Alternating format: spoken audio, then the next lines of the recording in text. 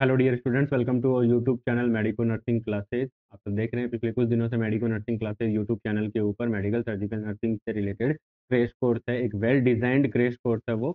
Update किया जा रहा है। डेली रेगुलर बेसिस पे इसकी क्लासें आप लोगों के लिए बनाई जा रही हैं और आप लोगों तक पहुँचाई जा रही हैं। एक YouTube channel medico nursing classes platform के थ्रू तो आज उसी क्रेश कोर्स की क्लास को हम आगे बढ़ाते हैं और चलते हैं अपने आज के टॉपिक के ऊपर। आज की क्लास हम शुरू करते हैं। कल की क्लास में हमने देखा था आर्टीरियो स्क्लेरोसिस के बारे में हमने देख ही लिया था कि आर्टीरियो स्क्लेरोसिस है, वो क्या होता है, कैसे होता है। ठीक है, उसके टाइप्स हमने देख लिए थे। उसके बाद हमने उसके सिम्टम्स के बारे में डिस्कशन कर लिया था कि क्या सिम्टम्स होते हैं। ठीक है, उसके बाद हमने देखा था मैनेजमेंट ऑफ़ आर्टीरियो स्क्लेरोसिस तो इन तीनों टॉपिक्स के अंदर या जो भी तीनों हेडिंग्स थी, इन हेडिंग्स के अंदर अगर किसी भी स्टूडेंट को कोई डाउट है तो प्लीज़ आप कमेंट सेक्शन में ज़रूर बताओ। डेफिनेटली उसका आंसर किया जाएगा और आपके डाउट को क्लियर करने की पूरी कोशिश की जाएगी। ठीक है? आज की क्लास का हमारा important topic most important topic आज की क्लास का हमारा और बहुत बार इससे रिलेटेड एग्ज़ाम्स में क्वेश्चन आते हैं आज की क्लास का हमारा टॉपिक है myocardial infarction M I M I मतलब मुंबई इंडियंस नहीं, अभी क्या आईपीएल का फीवर चल रहा है सबके ऊपर तो वो मुंबई इंडियंस एम आई वाला नहीं है। ठीक है? ये है मायोकार्डियल इन्फाक्शन तो मायोकार्डियल इन्फाक्शन क्या होता है? कैसे होता है? क्या डिज़ीज़ कंडीशन है? किस, कैसे इसकी पैथोफिजियोलॉजी सब हम डिस्कस करेंगे और वो सारे पॉइंट्स हम इसमें डिस्कस करेंगे जो कि हमारी upcoming nursing officer recruitment examination के अंदर आने के लिए इंपॉर्टेंट होते हैं तो देखिए स्टूडेंट्स मायोकार्डियल इन्फेक्शन क्या होता है? मायोकार्डियल इन्फेक्शन है, एक ऐसी कंडीशन है जिसके अंदर मायोकार्डियल मसल्स के जो टिश्यूज होते हैं मसल्स टिश्यू मायोकार्डियम के मसल्स टिश्यू वो क्या होते हैं? डेड हो जाते हैं नेक्रोटाइज हो जाते हैं. ठीक है? ऐसी कंडीशन है in which in which the in which the myocardial tissue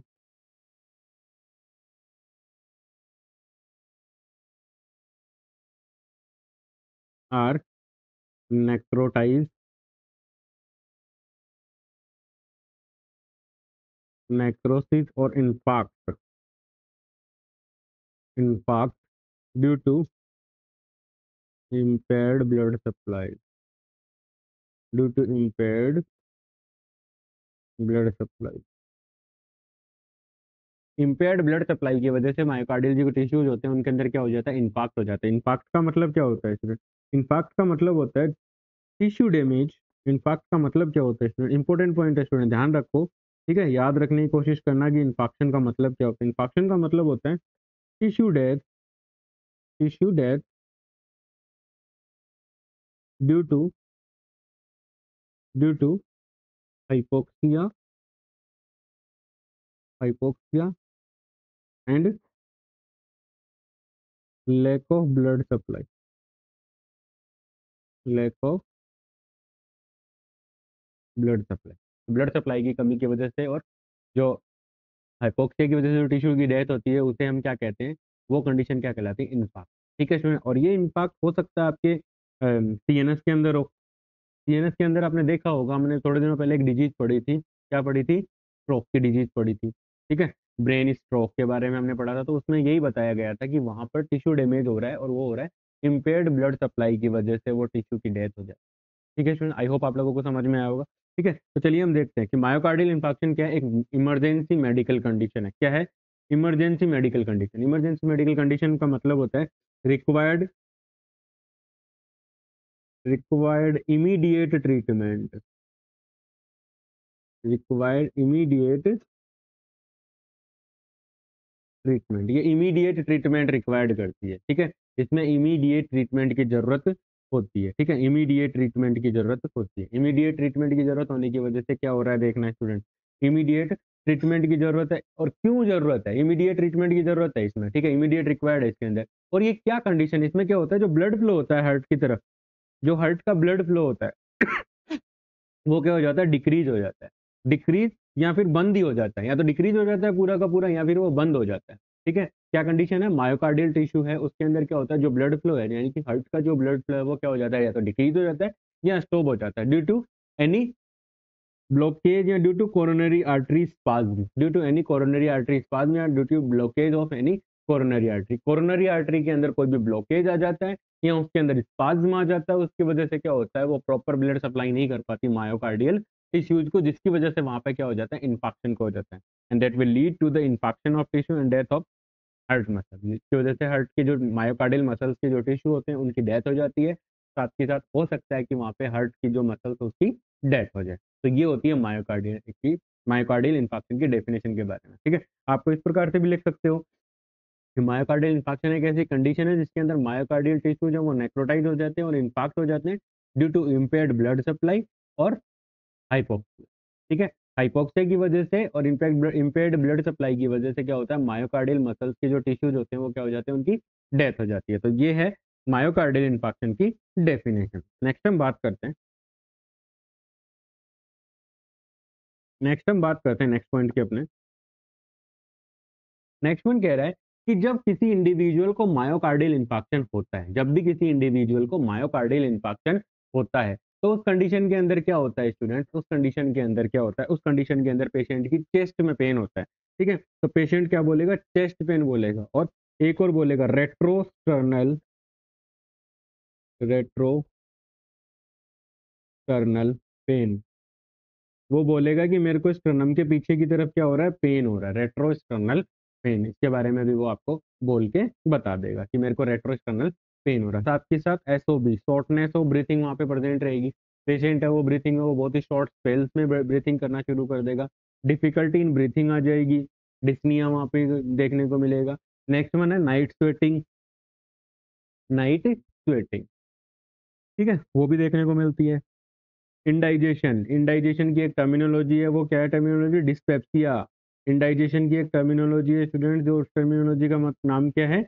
dyspepsia ठीक है? डिस्पेप्सिया की कंडीशन के अंदर क्या होता है? पेशेंट का जो खाना है, वो उसके, उसकी जो पाचन शक्ति है, उसकी जो डाइजेस्टिव कैपेसिटीज है, वो कम हो जाती है, जिसकी वजह से इंडाइजेशन की कंडीशन है, वो अराइज होती है।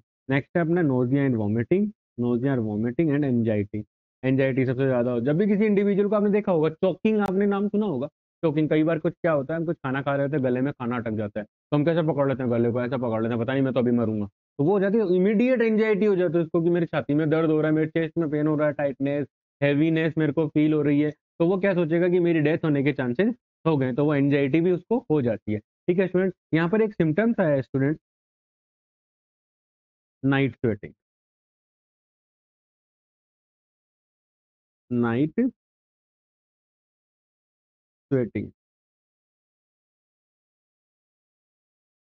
Night sweating. ये नाइट स्वेटिंग एक इम्पोर्टेंट क्लासिकल साइन है किसका? टीबी में। ट्यूबरक्लोसिस। माइकोबैक्टीरियम ट्यूबरक्लोसिस, जो कि बैक्टीरिया होता है, ट्यूबरक्लोसिस। टीबी के अंदर आपने देखा होगा, पेशेंट के अंदर नाइट स्वेटिंग है वो प्रेजेंट होती है। टीबी के पेशेंट के अंदर नाइट स्वेटिंग है वो क्या होती है, प्रेजेंट होती है। ये भी टीबी का एक क्लासिकल साइन है कि नाइट स्वेटिंग अगर किसी इंडिविजुअल को खांसी है नाइट स्वेटिंग हो रही है, उसका वेट लॉस हो रहा है रेगुलर इंटरवेल के ऊपर बहुत ही मतलब तेज गति से या बहुत ही स्पीडअपली उसका वेट रिडक्शन हो रहा है तो ये सारे सिम्टम्स हैं ट्यूबरक्लोसिस के। स्टूडेंट्स यहाँ पे सिम्टम्स आए, इसलिए मैंने आपको थोड़ा सा एक्सप्लेन कर दिया ताकि आपका स्टडी का कोरिलेशन बन सके और आप इस चीज़ को ज़्यादा लंबे समय तक इसको क्या कर सकें, याद रख सकें। ठीक है? नेक्स्ट हम देखते हैं। तो आई होप आप लोगों को ये सिम्टम्स समझ में आ गए होंगे। नेक्स्ट हम देखते हैं इंपॉर्टेंट पॉइंट देखो। रेड कलर से लिखा हुआ है, इसका मतलब है कि एक इंपॉर्टेंट पॉइंट है तो इसको मैं करता हूँ हाईलाइट ठीक है, अब इसमें देखना। ये है site of myocardial infarction site of myocardial site of myocardial infarction myocardial infarction की साइट का बता, बताएगा ये। अब मायोकार्डियल इन्फाक्शन की साइट का देखो, सबसे पहला जो पॉइंट है रेड कलर से लिखा हुआ है इंपॉर्टेंट पॉइंट है। एम सी क्यू यहाँ से आप लोगों के लिए आ सकता है। वेरी मोस्ट इंपॉर्टेंट पॉइंट है स्टूडेंट के वेरी मोस्ट इंपॉर्टेंट पॉइंट इसमें देखो क्या है, इसमें क्या है, इसमें ये बताया गया है कि most common in myocardial infection most common obstruction जो होता है ना, वो किस आर्टरी के अंदर होता है? हार्ट की जो कॉर्नरी आर्टरी है, उसका ब्रांचेज है, उसकी ब्रांच का क्या नाम है? Left anterior descending artery left anterior descending artery ठीक है? It's the most common artery that will obstruct and cause myocardial infection ठीक है? जब भी कोई obstruction myocardial infection obstruction myocardial infection या कोरोनरी आर्टरी के अंदर हो रहा है तो क्या हो रहा है? वो मोस्ट कॉमन किस आर्टरी के अंदर होगा? लेफ़्ट एंटीरियर डिसेंडिंग आर्टरी ये मोस्ट कॉमन आर्टरी है। इसको शॉर्ट फॉर्म में बोला जाता है लाडा ठीक है? लाडा आर्टरी ठीक है? लाडा आर्टरी ये इंपॉर्टेंट पॉइंट है स्टूडेंट ठीक है? याद रखना है, ठीक है? इसमें क्या है कि मोस्ट कॉमन ऑब्स्ट्रक्शन है, वो एग्जामिनर आपसे पूछा, पूछ सकता है कि most common coronary artery branch that will obstruct in myocardial infection तो आपको लिखना है लाडा। Left anterior descending artery is the most common coronary that will obstruct in a case of myocardial infarction जो मायोकार्डियल इन्फाक्शन के अंदर सबसे ज़्यादा obstruct होती है, ठीक है? बाकी की पढ़ते हैं अपन। देखो ऑब्स्ट्रक्शन ऑफ़ लाडा ऑब्स्ट्रक्शन ऑफ़ लाडा सबसे पहले तो लाडा का पूरा नाम लिखो, ताकि याद हो। लाडा का पूरा नाम होगा left anterior descending left anterior descending artery left anterior descending artery ये मोस्ट कॉमन आर्टरी है जो क्या होती है? ऑब्स्ट्रक्ट होती है एमआई के अंदर। दूसरा obstruction in obstruction in circumflex artery अगर सरकमफ्लेक्स आर्टरी के अंदर ऑब्स्ट्रक्शन है सरकमफ्लेक्स आर्टरी के अंदर अगर ऑब्स्ट्रक्शन है तो हर्ट की कौन सी वॉल डैमेज होगी? हर्ट की होगी पोस्टीरियर वाल और लेटरल वाल हर्ट की पोस्टीरियर वाल और हर्ट की लेटरल वॉल के अंदर डैमेज है। अगर आप देख रहे हो कि हर्ट की लेटरल वॉल और पोस्टीरियर वॉल में डैमेज है तो इसका मतलब है कि सरकमफ्लेक्स जो आर्टरी है, उसके अंदर क्या हुआ? वहाँ पे ऑब्स्ट्रक्शन हुआ हुआ है। तो उसके लिए कौन जिम्मेदार है? सरकमफ्लेक्स आर्टरी लेकिन अगर लेफ़्ट एंटीरियर डिसेंडिंग आर्टरी में हुआ होगा तो एंटीरियर वॉल के अंदर और सेप्टम के अंदर आपको नेक्रोसिस देखने को मिलेगा। कहाँ पे देखने को मिलेगा? सेप्टम के अंदर और एंटीरियर वॉल के ऊपर। अगर एंटीरियर वॉल और सेप्टम डैमेज है, इसका मतलब है कि वहाँ पर लाडा आर्टरी के अंदर ऑब्स्ट्रक्शन हुआ है और ये मेजर आर्टरी है जो कंप्लीट हर्ट को मेजर हर्ट की जो मेजर पोर्शन है, उसको ये ब्लड सप्लाई करती है। नेक्स्ट वन है obstruction in right coronary artery अगर राइट कॉर्नरी आर्टरी के अंदर ऑब्स्ट्रक्शन होता है तो ये केवल इंफीरियर वॉल को डैमेज करती है। अगर इंफीरियर वॉल आपको डैमेज मिल रही है तो इसका मतलब है कि पेशेंट के अंदर क्या हुआ हुआ है? पेशेंट के अंदर राइट कोरोनरी आर्टरी के अंदर ऑब्स्ट्रक्शन हुआ है, जिसकी वजह से वहाँ पे क्या है? पेशेंट की inferior wall of heart inferior wall of heart है, वो क्या है? वहाँ पे डैमेज हो रखी है। आई होप स्टूडेंट्स आप लोग कनेक्ट कर पा रहे होंगे, समझ पा रहे होंगे। अगर किसी भी स्टूडेंट को कोई डाउट है तो प्लीज़ आप मुझे कमेंट सेक्शन में ज़रूर बताओ। मैं डेफिनेटली उसका आंसर करूँ। आई होप आप समझ पा रहे होंगे। नेक्स्ट हम चलते हैं। नेक्स्ट इन्वेस्टिगेशन, कि in case of myocardial infection कौन कौन सी ऐसी इन्वेस्टिगेशन है जो मोस्ट कॉमनली परफॉर्म की जाती है in case of myocardial infection? तो मायोकार्डियल इन्फेक्शन के अंदर कौन कौन सी इन्वेस्टिगेशन है? सबसे पहले ट्रोपोनिन लेवल चेक किया जाता है। ठीक है? मायोकार्डियल इन्फेक्शन के अंदर कौन कौन से टेस्ट इंपॉर्टेंट होते हैं? वो पिछली क्लासों के अंदर मैं आप लोगों के साथ डिस्कस कर चुका हूँ। प्लीज़ वहाँ से आप रेफर कीजिए। डिटेल्ड एक्सप्लेनेशन हम यहाँ पे नहीं कर पाएँगे क्योंकि हमें जल्दी से जल्दी हमारे टॉपिक्स को कवर करना है, ठीक है? ट्रोपोनिन लेवल, ठीक है? मैंने अभी थोड़ी देर पहले आप लोगों को एग्ज़ाम्पल दिया था ट्रोप्टी। एक टेस्ट होता है ट्रोप्टी, ठीक है? ट्रोप्टी टेस्ट करते हैं। Trop T by card method. Trop T by card method.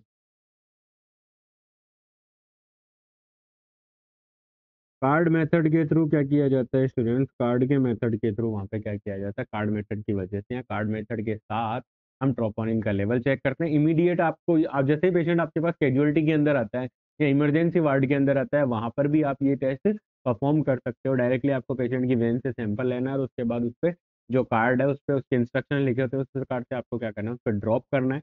मतलब इट इज़ सम लाइक जैसे अपन प्रेगनेंसी का टेस्ट नहीं करते यूपीटी यूरिन प्रेगनेंसी टेस्ट वैसा ही टेस्ट होता है, ठीक है?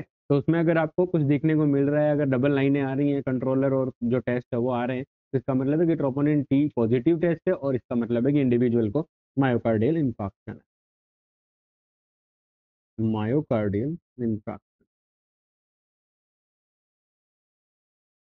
तो मायोकार्डियल क्या है? इन्फाक्शन ठीक है? सीकेएमबी लेवल की बात करें, क्रेटिनिन, काइनेज, मायोकार्डियल मसल से आता है तो सीकेएमबी आ जाएगा।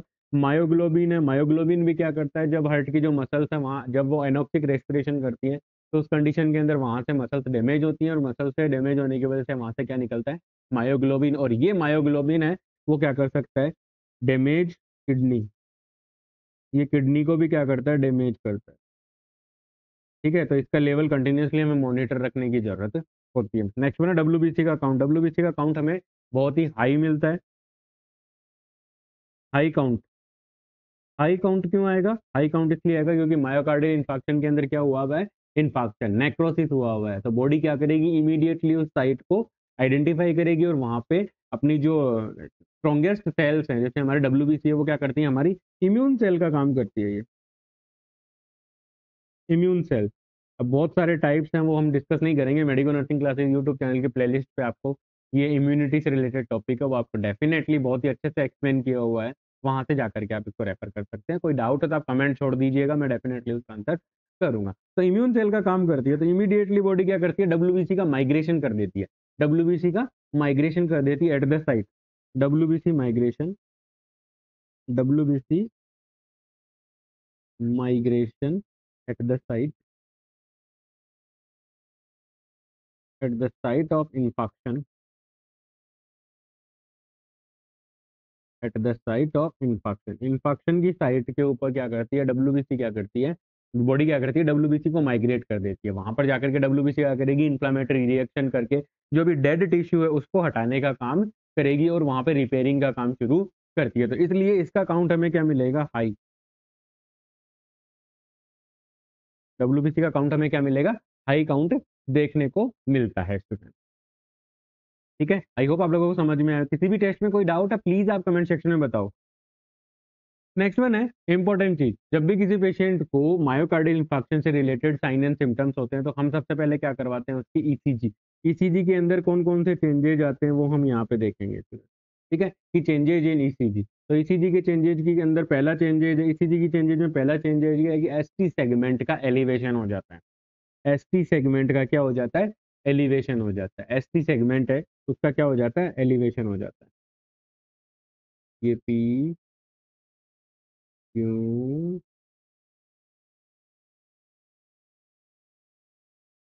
P Q R S T तो ये एस टी सेगमेंट है, वो क्या मिलेगा आपको? एलिवेटेड मिलेगा। एस और टी के बीच का जो सेगमेंट है, ठीक है? देखना।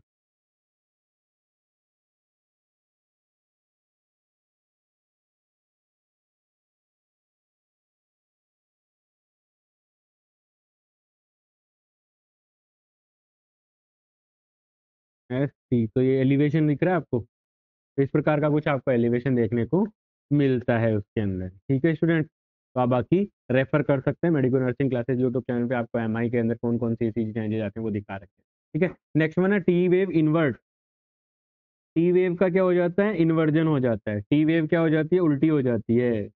ये पी वेव ये Q R S T wave यहाँ उल्टी बनती है।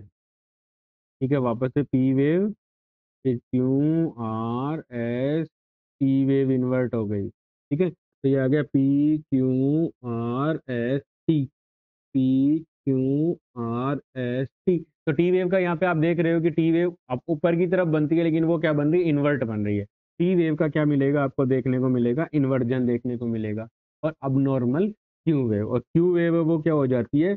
अब नॉर्मल वेव हो जाती है। तो ये तीन इंपॉर्टेंट ईसीजी चेंजेज हैं, जो कि मायोकार्डियल इन्फेक्शन के अंदर आपको देखने को मिलेंगे और आप लोगों को वो देख के पहचान के उसको मायोकार्डियल इन्फेक्शन का आपको क्या करना है, जल्दी से जल्दी डायग्नोसिस करके आपको क्या करना है ट्रीटमेंट प्रोवाइड करना है। किसी भी इंडिविजुअल को जिसको भी मायोकार्डियल इन्फेक्शन की प्रॉब्लम हुई है। ठीक है स्टूडेंट ये तीनों ईसीजी जो चेंजेज है, वो मोस्ट कॉमन ईसीजी चेंजेज हैं। वो क्या है? मोस्ट कॉमन ईसीजी चेंजेज है और ये आपको एमआई के अंदर मायोकार्डियल इन्फेक्शन के अंदर देखने को मिलते हैं। तीन, ठीक है? कि ये मायोकार्डियल इन्फेक्शन के अंदर आपको देखने को मिलते हैं। S segment elevation T wave inversion होता है और अब नॉर्मल क्यू वेव होती है। ये तीन चार चेंजेज हैं, वो आपको देखने को मिलते हैं। इनको थोड़ा सा आप याद रखिएगा। चलते हैं अपने नेक्स्ट ट्रीटमेंट के ऊपर। ठीक है? तो ट्रीटमेंट की अगर बात करें तो मायोकार्डियल इन्फेक्शन के अंदर सबसे सीवियर फॉर्म ऑफ़ पेन होता है। सबसे सीवियर पेन ठीक है? तो स्टूडेंट सबसे ज़्यादा यहाँ पे क्या होता है? पेन है। तो as a nursing nursing officer और एज ए मेडिकल इथिक्स हम क्या करते हैं? पेन को सबसे पहली प्रायोरिटी पे रखते हैं। Pain has first priority pain has first priority pain has first priority to deal with and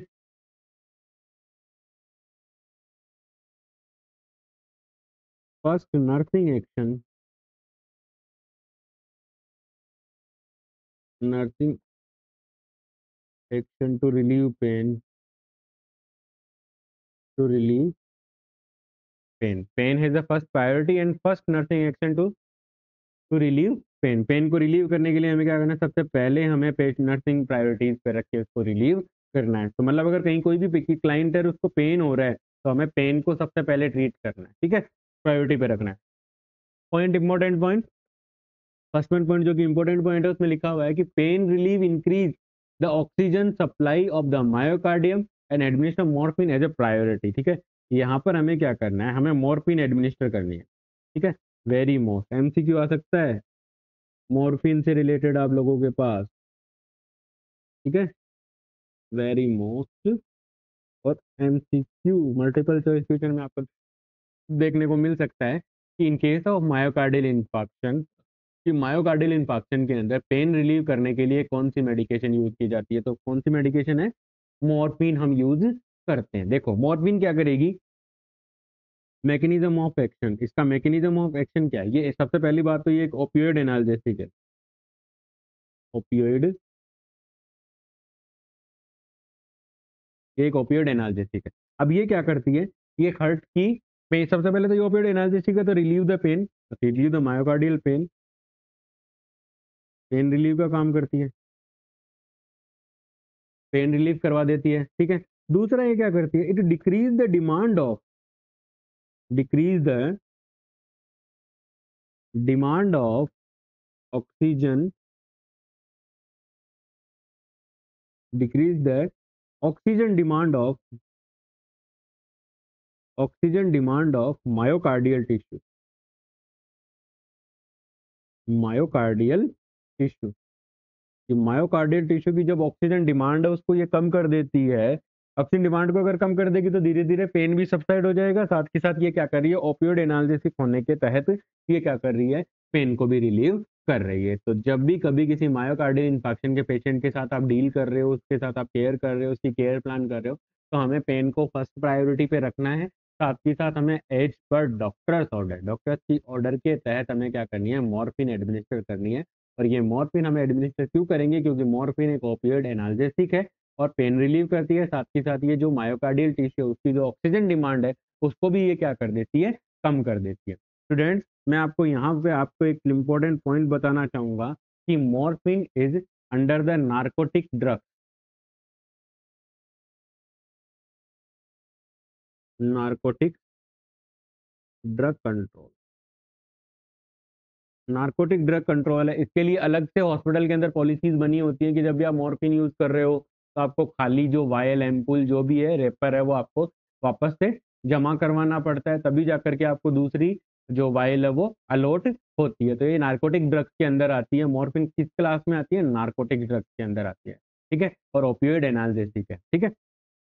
next हम बात करते हैं कि और क्या मैनेजमेंट कर सकते हैं। जब भी हमारे पास मायोकार्डियल इन्फेक्शन का पेशेंट आ रहा है तो हम उसके लिए और क्या मैनेजमेंट कर सकते हैं? तो और कौन कौन से मैनेजमेंट है वो बताता हूँ मैं। देखो, और मैनेजमेंट की बात करें ऑक्सीजन की डिमांड बढ़ी हुई है तो हमें क्या करना पड़ेगा? ऑक्सीजन एडमिनिस्टर कर देंगे।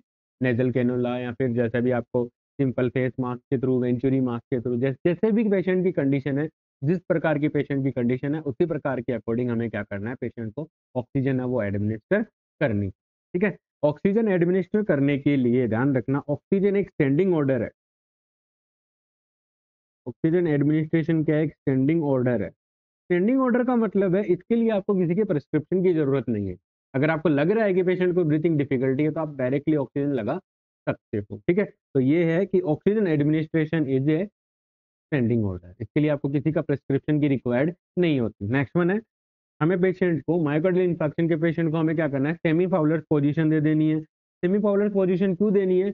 क्योंकि सेमी पावरड पोजीशन के अंदर स्टूडेंट क्या होता है लंग्स है, वो अच्छे से एक्सपेंड हो पाते हैं।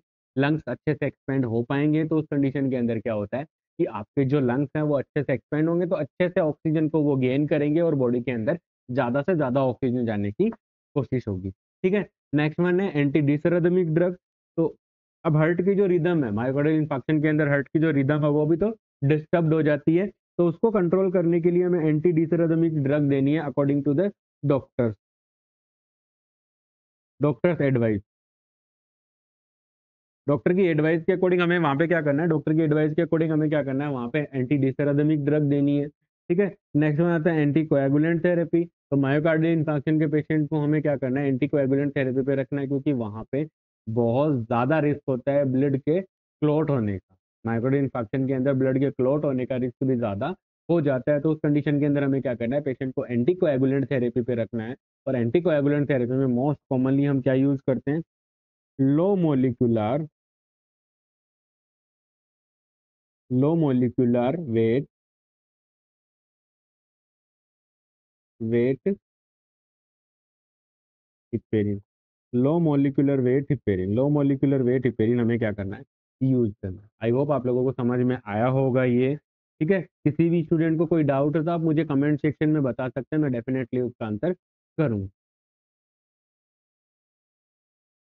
नेक्स्ट वन है closely monitor the vital sign जब भी कोई माइकार्डियल इन्फेक्शन का पेशेंट होता है, उसके वाइटल साइन को हमें क्या करना है? क्लोजली मॉनिटर रखना है। क्यों रखना है? क्योंकि वाइटल साइन वो वो साइन होंगे जो फर्स्टली अगर बॉडी के अंदर कोई भी चेंजेज होगा, कोई भी अबनॉर्मल डेविएशन होगा, उसको सबसे पहले वाइटल साइन इंडिकेट करते हैं। सबसे पहले वाइटल साइन क्या करेंगे? उसको इंडिकेट करेंगे तो इसलिए हमें क्या करना है?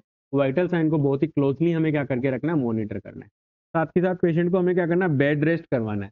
बेड रेस्ट करवाना है twenty four to thirty six hour एक से डेढ़ दिन के लिए हमें क्या करना है? एक से डेढ़ दिन के लिए मतलब दो दिन, डेढ़ से दो दिन ही मान लो, डेढ़ से दो दिन तक, जब भी किसी पेशेंट को एमआई का अटैक आया है मतलब एमआई अटैक हुआ है किसी पेशेंट को। अगर किसी पेशेंट को एम का अटैक हुआ हुआ है तो उस कंडीशन के अंदर हमें क्या करना है? उस पेशेंट को डेढ़ से दो दिन के लिए हमें क्या करना बेड रेस्ट देना बेड रेस्ट क्यों देना है यहाँ पे? मैं आपसे बात करना चाहूँगा कि बेड रेस्ट क्यों देना है? Because during activity during activity अगर आपका पेशेंट कोई एक्टिविटी करेगा माइक्रोडियल इन्फेक्शन का पेशेंट अगर वो कोई एक्टिविटी करेगा तो उस एक्टिविटी के क्या होगा? As a result as a result oxygen demand बढ़ जाएगी। Oxygen demand of body tissue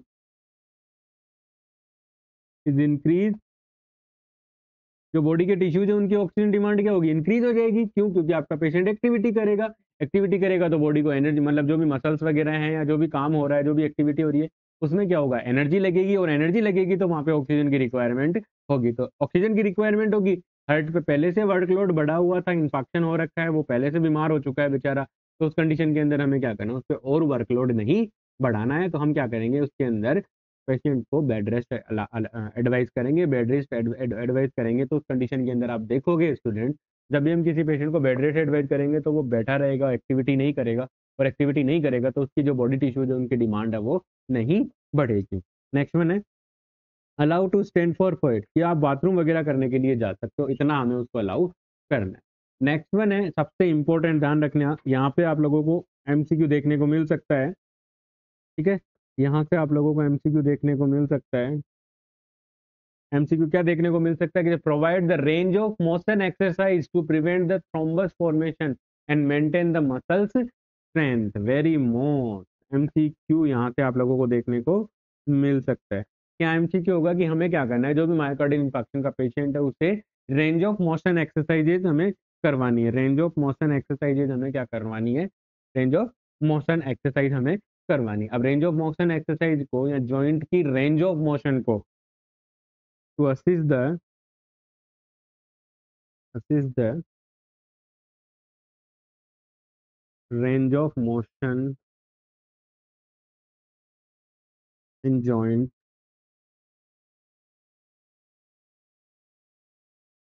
goniometer is use याद रखना, जीनियोमीटर यूज़ किया जाता है जॉइंट की रेंज ऑफ़ मोशन को देखने के लिए जीनियोमीटर यूज़ किया जाता है। Medico nursing classes YouTube channel पे आप इसकी भी इमेज देख सकते हो। ठीक है? अब रेंज ऑफ़ मोशन एक्सरसाइज वो क्यों वो क्यों करनी है? क्योंकि ब्लड क्लोटिंग का रिस्क रहता है तो ब्लड को थ्रोम्बस बनने से हमें क्या करना है? रोकना। साथ ही साथ जब हम रेंज ऑफ़ मोशन एक्सरसाइजेज करवाएँगे तो उस कंडीशन के अंदर क्या होता है? मसल्स की जो स्ट्रेंथ है, वो बनी रहती है। अगर पेशेंट लॉन्ग ड्यूरेशन तक इनएक्टिव रहता है बेड रिडन रहता है तो उस कंडीशन के अंदर मसल्स वास्टिंग होना शुरू हो जाती है, क्योंकि उसके अंदर कोई एक्टिविटी नहीं होती तो बॉडी उनको वास्ट करना शुरू कर देती है। तो हमें क्या करना है? मसल्स को मसल्स की स्ट्रेंथ को मेंटेन रखने के लिए हमें क्या करना पड़ेगा स्टूडेंट्स मसल्स के स्ट्रेंथ को मेंटेन रखने के लिए हमें पेशेंट को कंटिन्यूसली रेगुलरली हमें रेंज ऑफ़ मोशन एक्सरसाइजेज जो पेशेंट को प्रोवाइड करनी है। आई होप आप लोगों को समझ में आया हो आज की क्लास आज की क्लास में इतना ही। आई होप मेरे द्वारा प्रोवाइड की जा रही क्रेश कोर्स की क्लासें आपकी नर्सिंग ऑफिसर रिक्रूटमेंट एग्जामिनेशन की प्रिपरेशन में आपकी हेल्प कर रही होंगी। Please like share and subscribe thank you so much